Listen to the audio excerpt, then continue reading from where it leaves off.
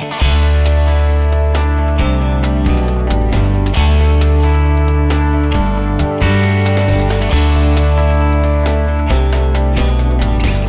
I'm Dr. Andrew Bernard, board certified oral and maxillofacial surgeon.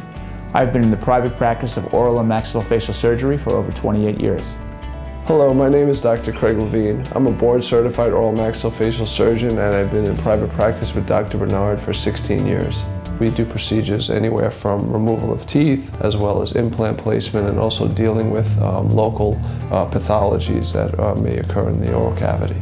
To make treatment more affordable to our patients, we do participate with most major insurance plans. Our office tries to uh, maintain the latest technologies. Uh, we offer platelet-rich plasma to be used with our bone grafting procedures and we also offer digital and 3D cone beam radiography that allows us to look at images immediately and uh, diagnose um, patients' conditions.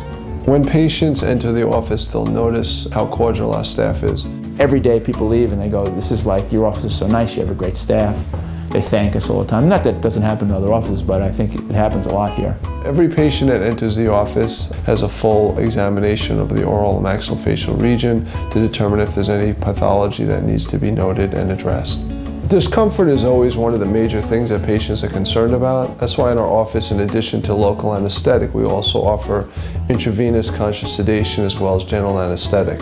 Uh, that allows the patients to be uh, comfortable and have painless procedures performed. You know, I, I, really care about what I do. I care about the patients I treat. The quality of the work that comes out of the office is, is a reflection of me directly, and my reputation is on the line every time I treat a patient. I always strive to take uh, the best possible care of all the patients and that goes down to the staff as well because they always go out of their way from the initial phone consultation all the way until patients uh, enter the office that they have a positive experience.